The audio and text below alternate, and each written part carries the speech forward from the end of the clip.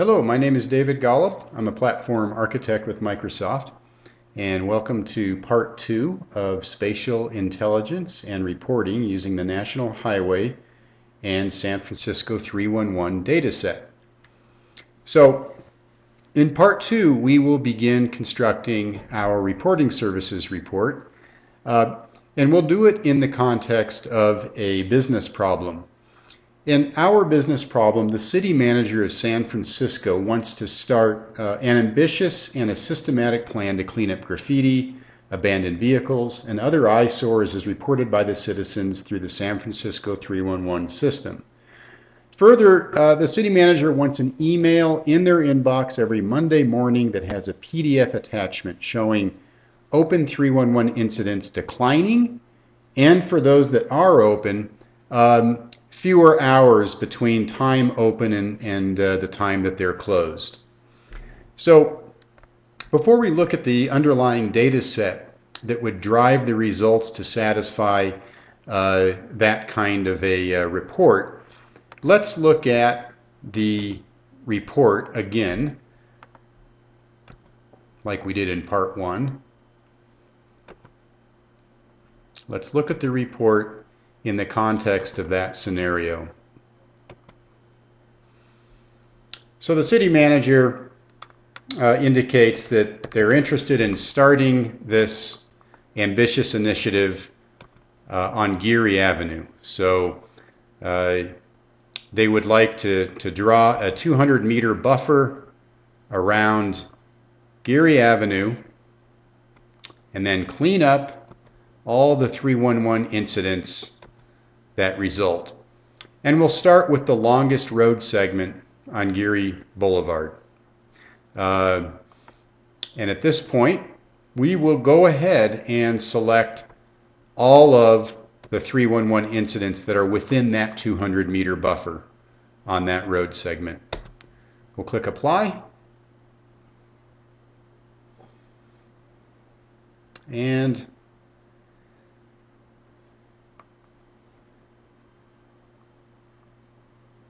And here we go. So here's the 200 meter road buffer.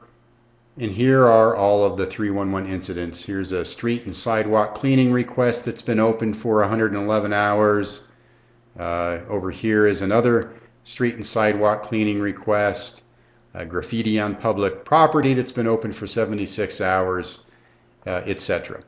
So from reporting services report, uh, this happens to be reporting services that's uh, integrated with SharePoint, um, rendering a report from within SharePoint, we can, we can come up here to this actions dropdown and uh, the viewer of the report, if they have sufficient privilege, they can subscribe to the report and they can indicate a calendar uh, with which they'd like this report put in their inbox and then maybe an export type. I'd like this very report with these parameters in my inbox in a PDF format.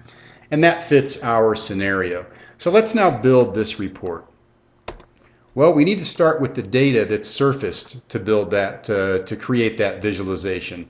Here's the query, and notice how I have this already primed with Geary Boulevard, the road segment, the 200 meter buffer, status open. I'm not even looking at the 311 types because we're asking for all the types. But if I perform this query, you can see that I get uh, uh, eight rows back. Now, we want to actually parameterize the buffer size, the roadway, the road segment, and the 311 types, as you saw as I navigated that report. So uh, obviously, uh, Management Studio doesn't know what at and then uh, some string represents, but this is kind of my cheat sheet. When I paste these into the report authoring tool, uh, the report authoring tool, Report Builder, it will know what to do with these query parameters. So I'll go ahead and copy that. And now I'm going to come back to my um, to my SharePoint document library. I'm going to go to Documents, New Document. I'll come down here to Report Builder Report. Okay, now we're in the Report Builder tool and we'll choose a blank report. create a new data set.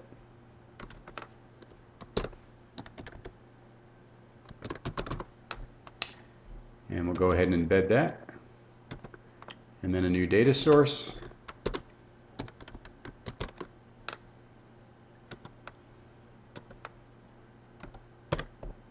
We'll point that at the San Francisco 311 database.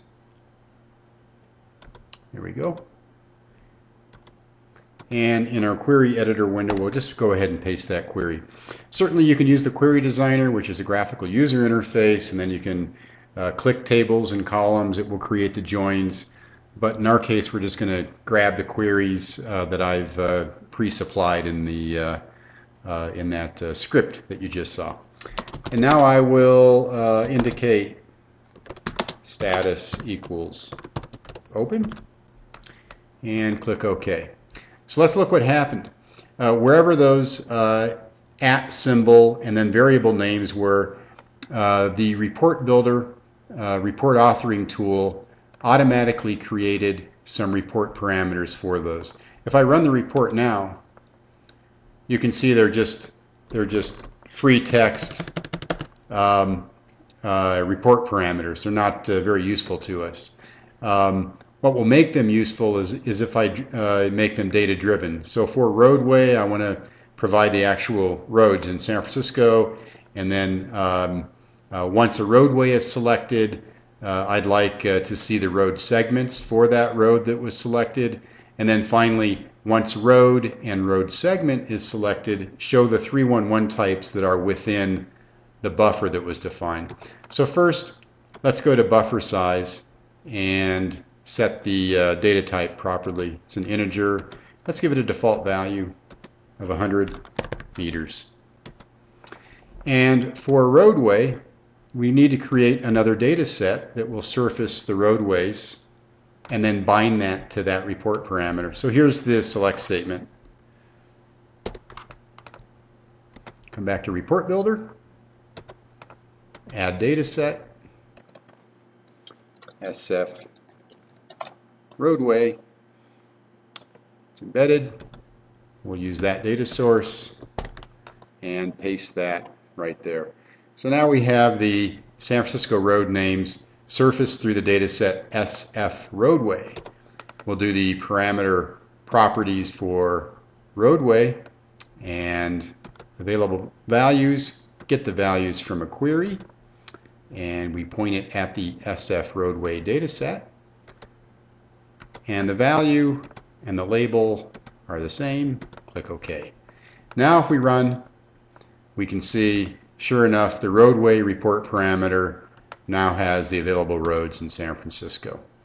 So going back, now we need to uh, bind the uh, San Francisco uh, road segments to roadway. So let's do that. And sure enough, I have another query here. And in this case, the query returns road name, a nice readable milepost column, and then the internal ID for the road segment sequence. But look at the where clause. The where clause is driven by the report parameter roadway. Come back to the report authoring tool, report builder, new data set, SF road segment.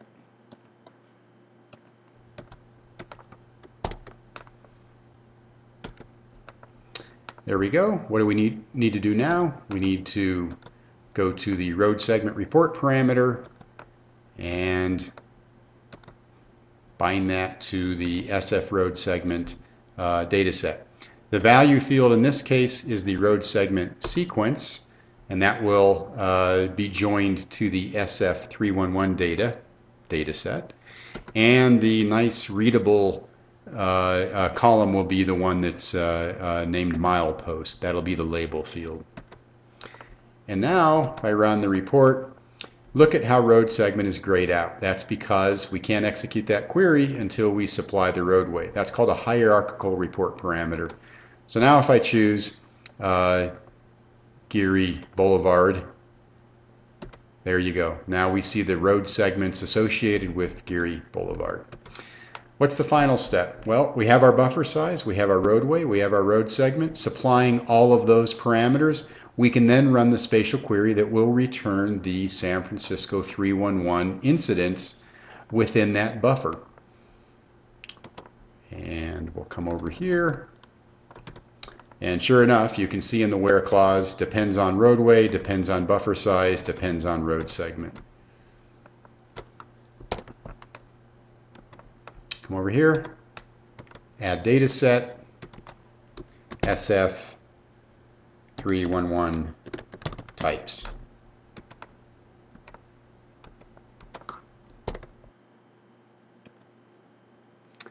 And we will now, now look at this, uh, allow multiple values because uh, recall that for that particular parameter, uh, we're allowing the uh, user of that report to choose the specific 311 types they're interested in. And available values, get values from a query, 311 type, and the value field and label field are the same. And for the prompt, maybe just make it a little nicer like this. And then once again, we'll run the query now you see road segment and San Francisco 311 types uh, uh, grayed out. We choose Geary Boulevard. We choose the longest road segment, 1.36 miles long. Um, and then uh, here are the different types. These are the 311 types that are uh, have been uh, reported within that 100 meter buffer around that road segment. So now let's uh, test our data values. We'll just go ahead and we'll insert a table here. I'll add a couple columns to the right.